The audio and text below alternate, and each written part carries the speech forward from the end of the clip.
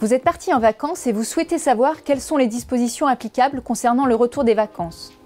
Vous pouvez rentrer de vacances par n'importe quel moyen de transport, muni d'un justificatif de domicile que vous devrez présenter lors des contrôles des forces de l'ordre.